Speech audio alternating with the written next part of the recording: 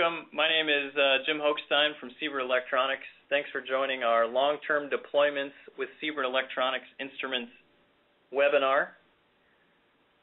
I'll be your host today. I'm the Director of Marketing at Sea-Bird. Here we've got a couple of images of our instrumentation out in a variety of different deployments or recently pulled from deployment. We have Sea-Bird 39 temperature loggers near Coral Reef, a pier-mounted Sea-Bird 16 CTD, and Sea-Bird 37 moored CTDs recently recovered and in more of a hairy configuration.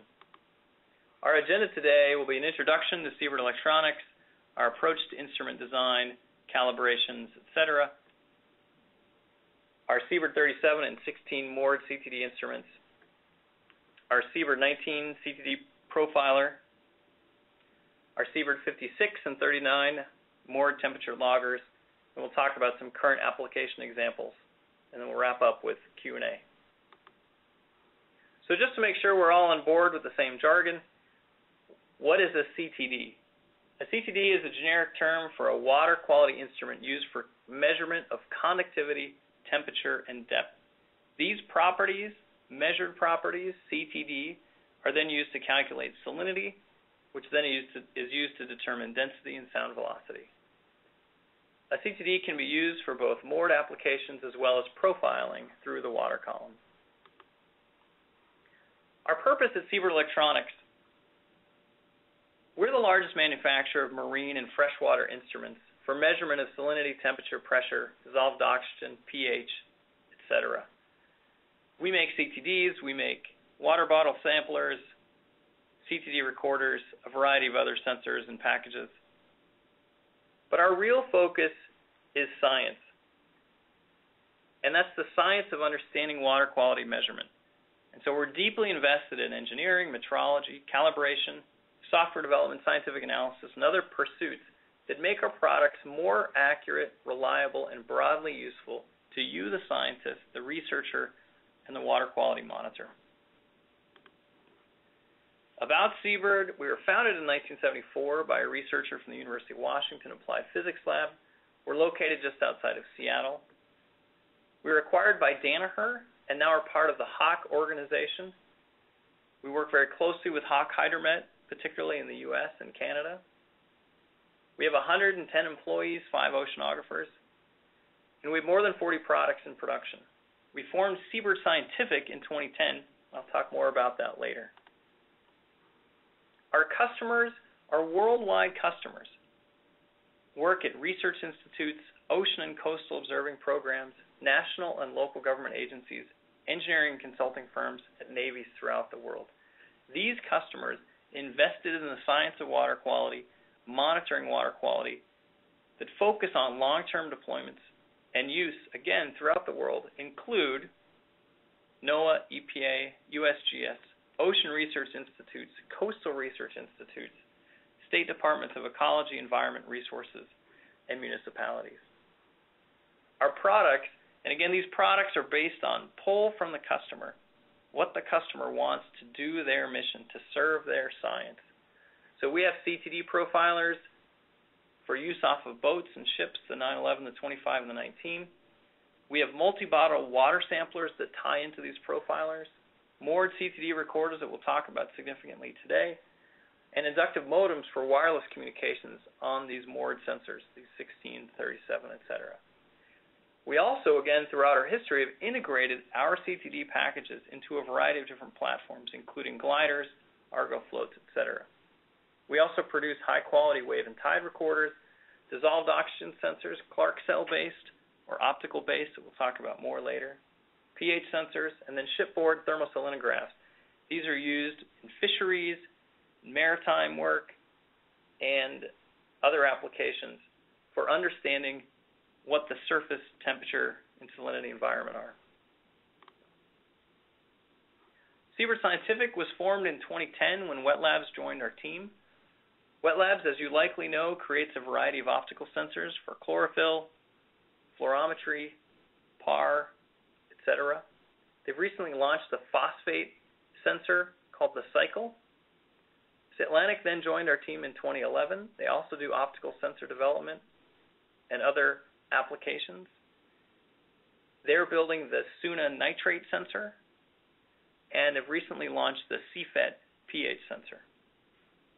One of the first results of our teaming, the Sea-Bird Scientific work, is the WQM, which is a Wet Labs and Sea-Bird Electronics product, the Water Quality Monitor, which uses Sea-Bird physical property sensors, CTD and DO, and Wet Labs optical sensors to create a very powerful package for high fouling environments. Now back to Sea-Bird Electronics. We focus on these water quality parameters, temperature, conductivity, and pressure. We measure these in addition to dissolved oxygen and pH. We calculate depth as a function of pressure and latitude, and then are able to calculate salinity based on temperature, conductivity, and pressure. From salinity, then, we can calculate density and sound velocity. What's very important to understand here is that small errors of the base measurement, temperature, conductivity, and pressure, can create large errors in your calculation of salinity, density, or even sound velocity. So we focus relentlessly on creating very high accuracy temperature, conductivity, and pressure measurements. So why use Seabird sensors? We focus on producing the most accurate CTD sensors on the market, backed with solid calibration from the factory. We create fast response time sensors so that you can do high speed profiling and capture at the same time the resolution of the environmental features that you want to measure.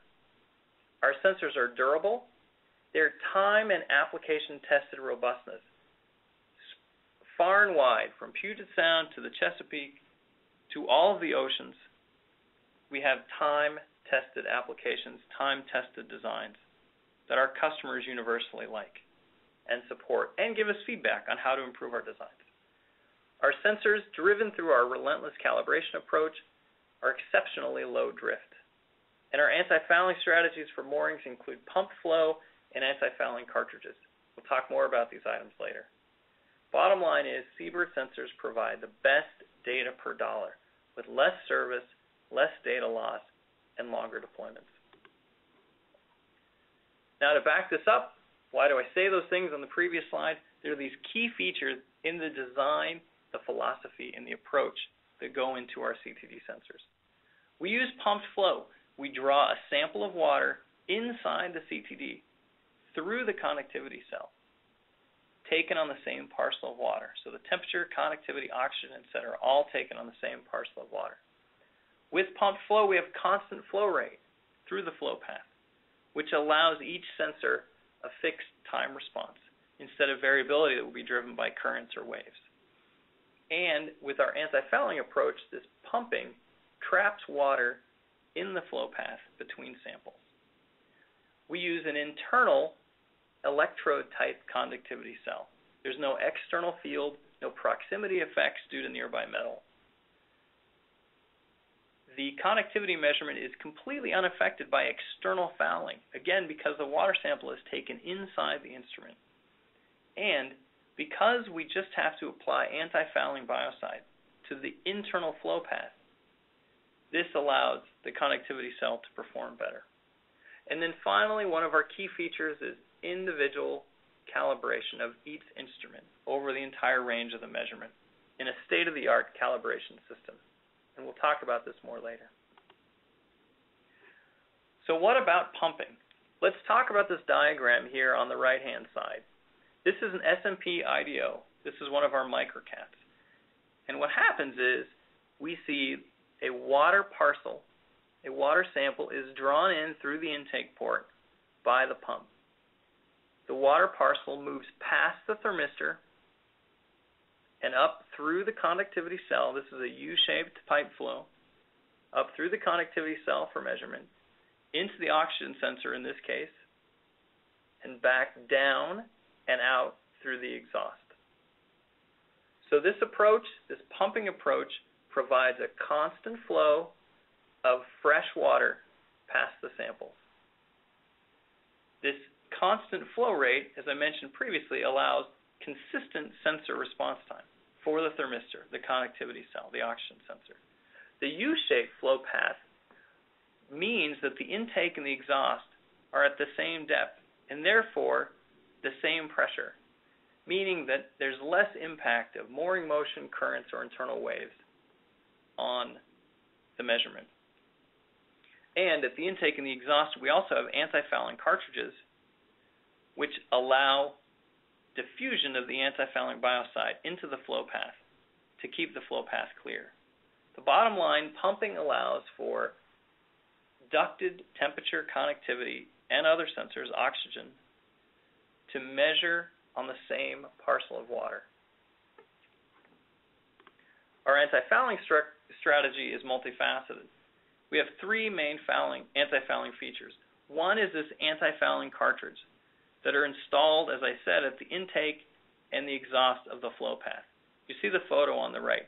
Now this approach is anti-fouling cartridge and the chemical involved is EPA certified for use in water quality monitoring. Because we've got a cartridge on both the intake and the exhaust, the biocide then diffuses out of the cartridges between samples. The measurement flow path as the second step is then pumped before and during each sample to prevent growth.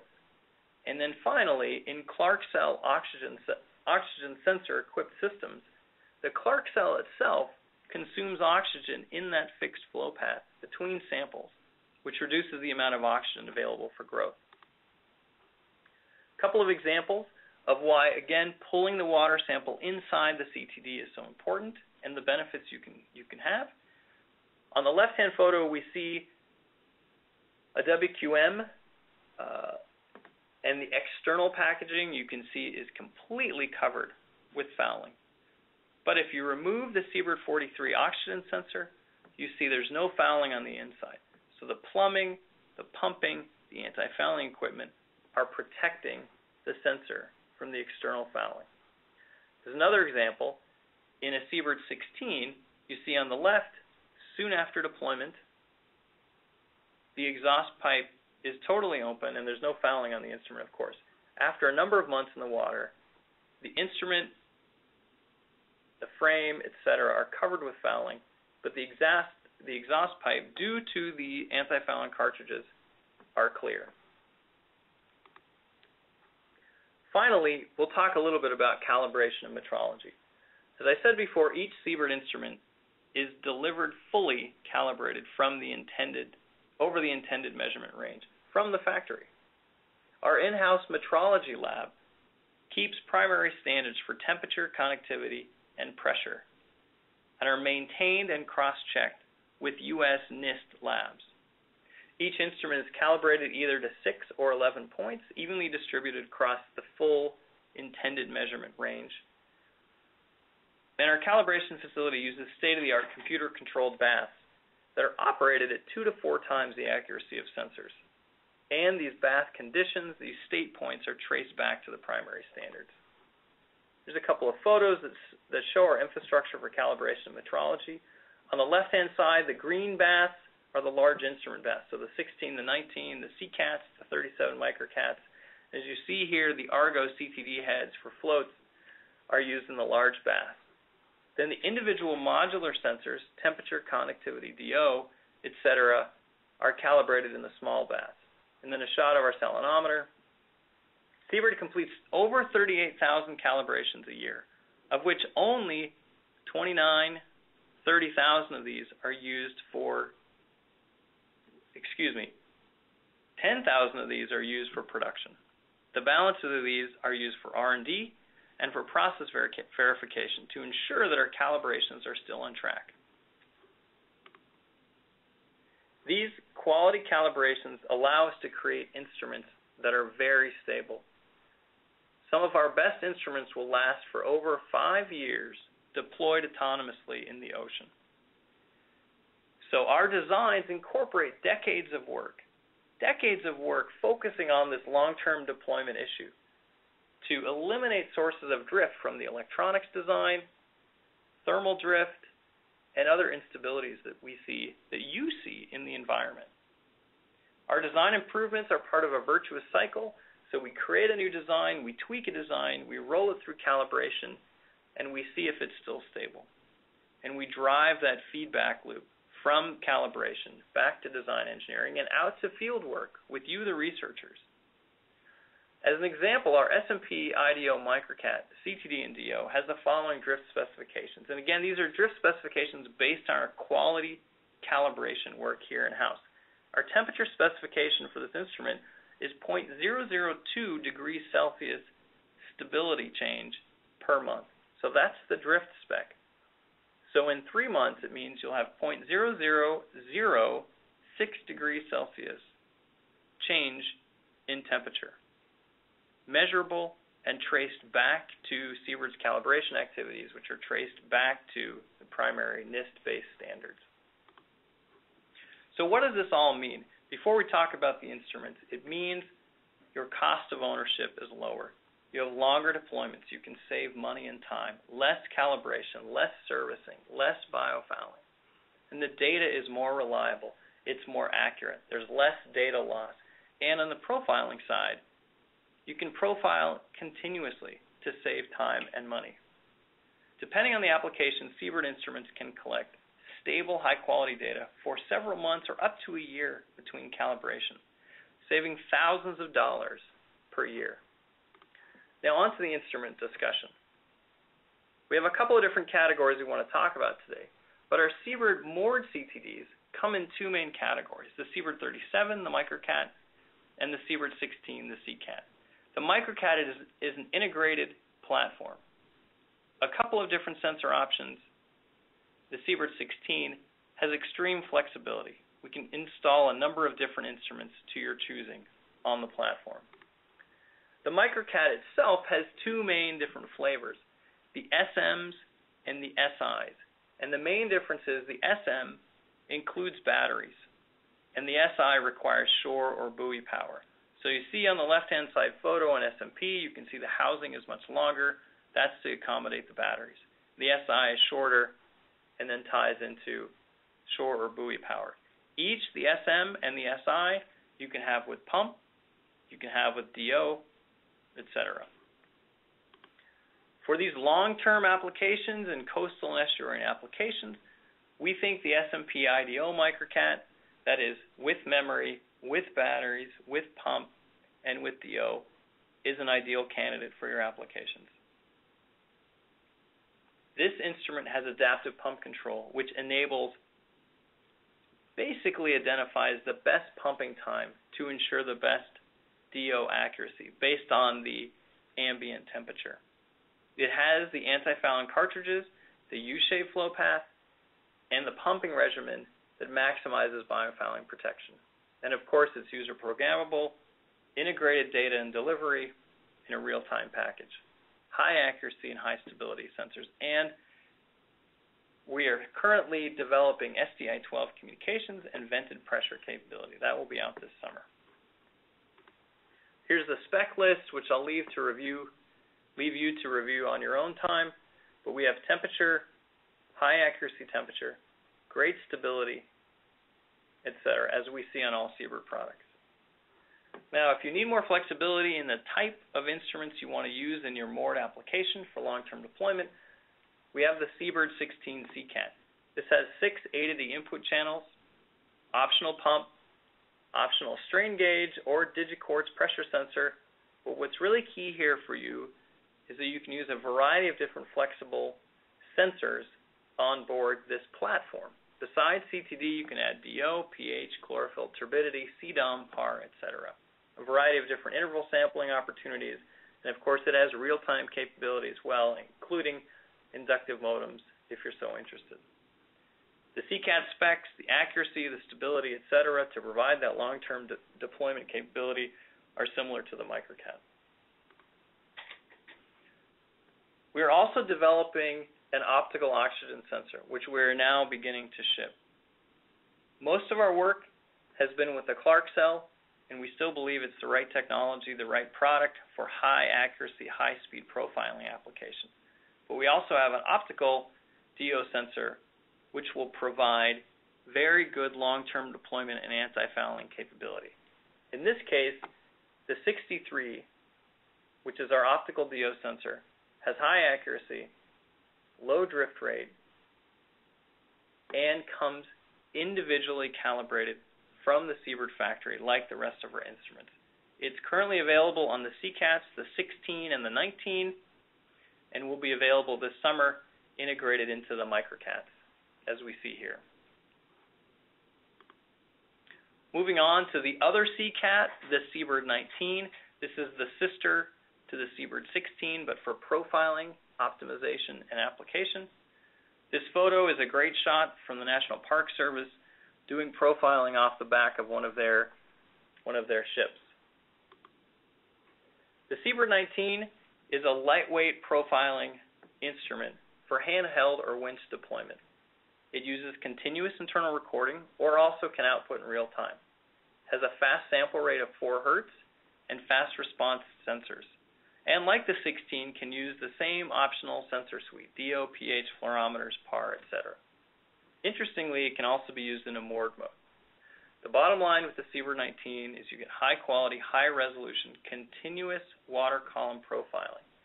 The Seabird 19 can allow for a nominal 1 meter per second deployment rate. You do not have to wait at each depth 5 meters, 10 meters, 20 meters for the instrument to equilibrate.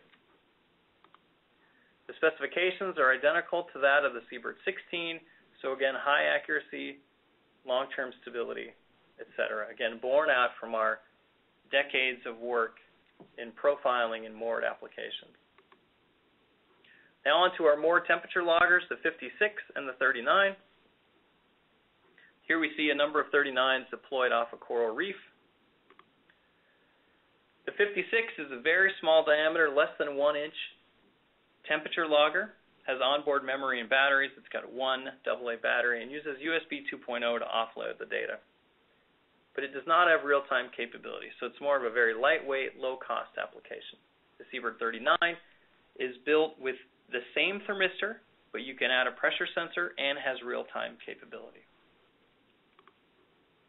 The Seabird 56 has high accuracy, long-term stability, and can sample as fast as 2 hertz.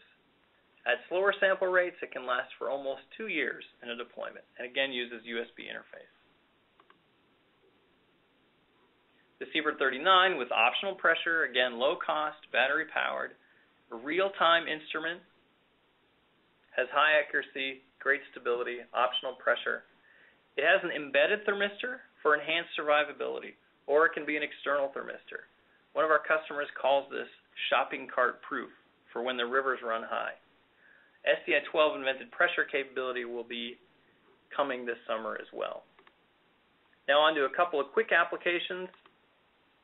First, the MicroCat in an ocean mooring application.